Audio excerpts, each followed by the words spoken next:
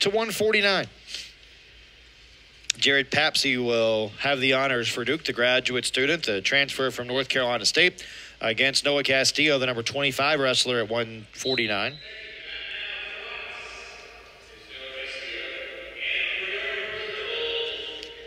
Papcsy coming off the two to one decision against Zach Price of Gardner Webb, and that was one of those frustrating ones for the Blue Devils. Really feeling like that was a match they could have won. Papcsy, one of the three captains for Duke this year. Now we've got a stoppage and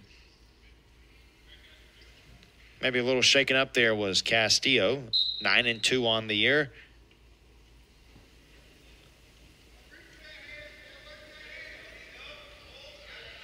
Papcsy, one of those guys for Duke that Glenn Lanham said just needs to be able to put it all together. Maybe looking for him to be a little more aggressive tonight. Being the one that initiates the offense.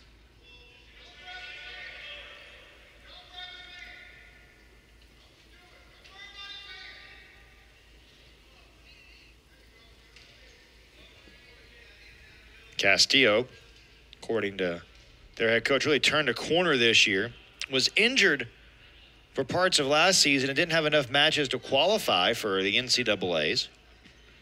But this summer wrestled for Puerto Rico of the U23 World Teams, and that seemed to really help him. More so with the, the mental side of things. Not so much worried about the outcome, but just worried about getting better each day.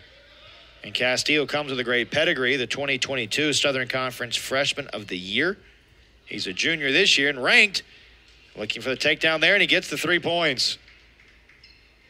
So the initial points with 85 seconds to go in this first period.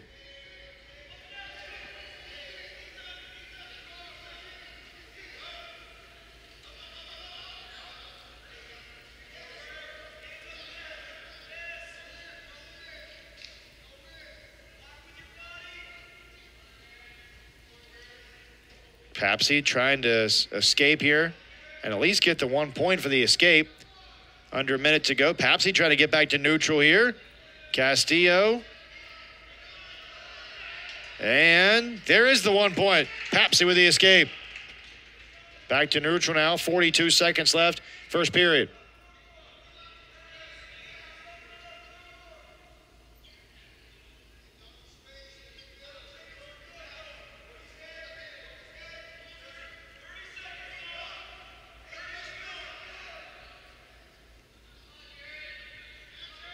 You know, those wins for Castillo at times last year, and even wrestling for Puerto Rico, and even early this year, too, have been tight matches.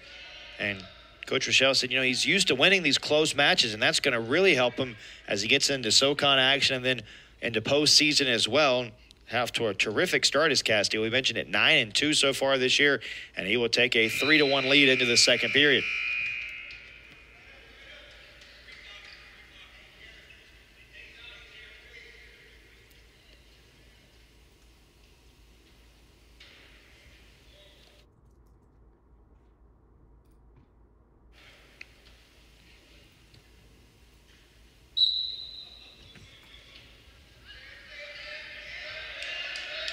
A quick mat return there. And you can see Papcsy just trying to stave off this attack here. Riding time approaching a minute for Castillo.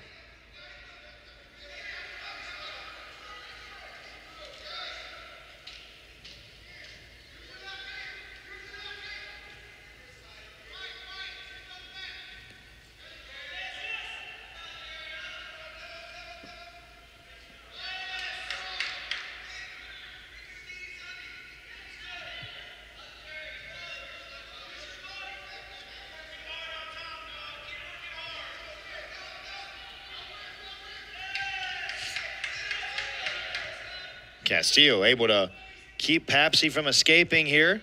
Final minute of the second period. Papcsy just got to find a way to get back to neutral here, get the escape, make it a one point contest. We talked about the last match out for Papcsy was a tight one. As a matter of fact, his last three have been very tight. He's lost the last three matches two to one, six to three, four to one. But unable to get anything going here in this second period. Still trailing by a couple of points. Papcsy feels like a guy that's really, really close. He wrestled four years at 141 for North Carolina State, but down to up to 149 here. Looking for his 13th career victory tonight if he can come from the two points down with 31 seconds to go in the second period.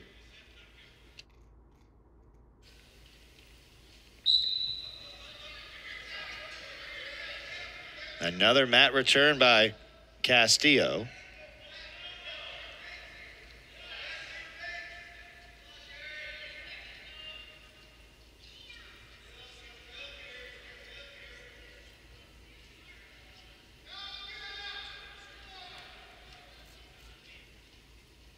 Six seconds left for this second period.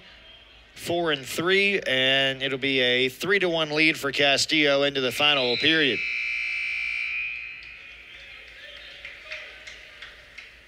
Castillo, maybe a little bit of blood will get attended to by the athletic trainer for UTC.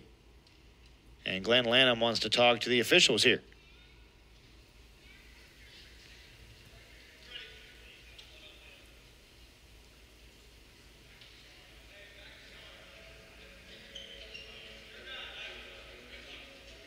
Castillo chooses bottom.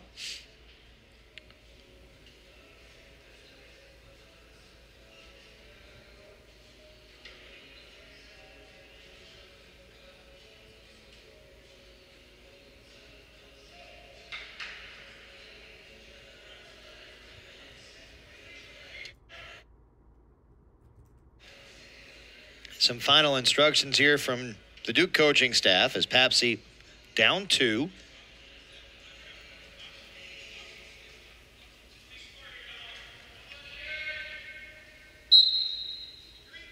Papcsy looking for the attack here.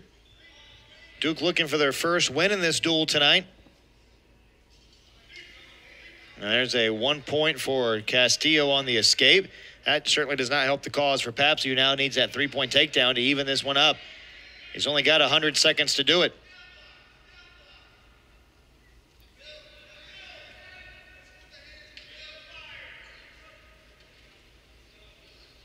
Papcsy going for the takedown there. Papcsy grabs the leg. Oh, and look at Castillo with the reversal there. Nobody with any points yet. And now, with 80 seconds left in this third period, it's a three point lead for Castillo. Papcsy pushing him out of the circle there. They fight on.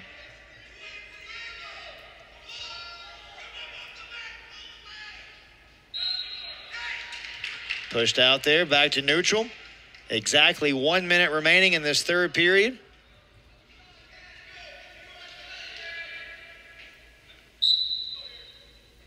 Three point lead for Castillo. Trying to move his record in duals to 6 and 0 and pick up his 10th victory of the season. And there's a big three point takedown for Castillo. Seven to one. He stretches the lead out with 40 seconds left. Back to neutral. Papcsy gets a point.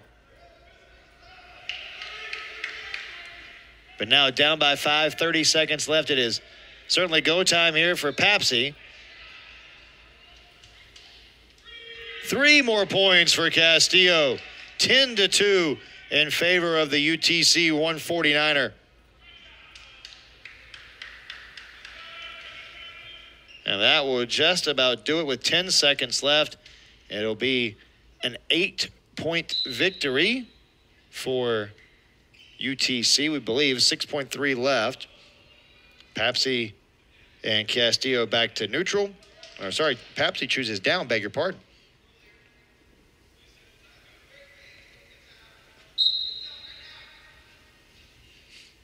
And that will do it. Another win for UTC. Castillo now 6 and 0 in duals this year. He's 10 and 2 overall. A eight point victory here at the 149 weight class. And we move on quickly to 156.